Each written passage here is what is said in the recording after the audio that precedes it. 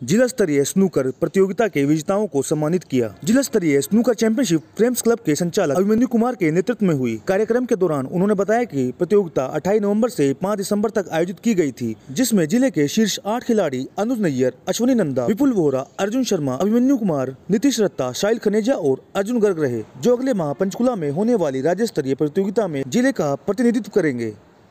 जी, हमारा ये main snooker का चैम्पियनशिप है। जो कि हमने यहाँ पर पूल ए और पूल बी दो पूल में डिवाइड किया था। फ्रेम्स वन हमारा एक क्लब है और ये फ्रेम्स टू पंचकुला अभी परफॉर्म करके आए थे हमारे लड़के हरियाणा में। तो यमुनानगर ओपन लेवल ये चल रहा है, जो भी एट चल रहा है। इसमें टॉप के हमारे जो आठ खिलाड़ी निकल चुके हैं। आज उनके सेमीफाइनल और फाइनल होके रिज़ल्ट निकल जाएगा, जो कि हमारा यमुनानगर के टॉप उसमें निकल जाएँगे हमारे आज प्लेयर्स जो आज की मेन हमारा फाइनल है इसमें जो है हमारा विनर्स को हमारी तरफ़ से कैश प्राइज़ दिया जाएगा।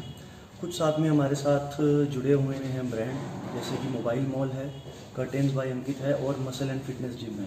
वो हमारे स्पॉन्सर्स हैं इस टूर्नामेंट के उनकी तरफ़ से काफ़ी अच्छे प्राइजेस भी दिए जाएँगे।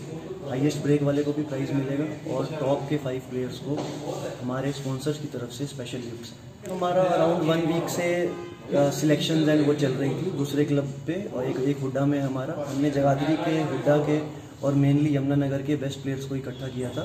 उसमें से हमारे कॉम्पिटिशन्स करके आज यहाँ पर टॉप आठ खिलाड़ी निकल चुके हैं। तो सर आज फाइनल है सर इसका? आज इसका प्रतियोगिता का फाइनल हो जाएगा और आज ही इसके रिज़ल्ट हो जाएँगे। यमुनानगर ओपन लेवल इसको आप बता सकते हैं। डिस्ट्रिक्ट लेवल का डिस्ट्रिक्ट लेवल जो यमुनानगर है उसका ही ओपन लेवल है। जो सर खिलाड़ी विजेता बनेगा तो सर वो डिस्ट्रिक्ट लेवल का विजेता बनेगा ओपन हाँ जी हाँ टूर्नामेंट जी, बिल्कुल यमुनानगर का वो टॉप खिलाड़ी होगा जो आज विजेता है। बहुत बहुत शुक्रिया सर।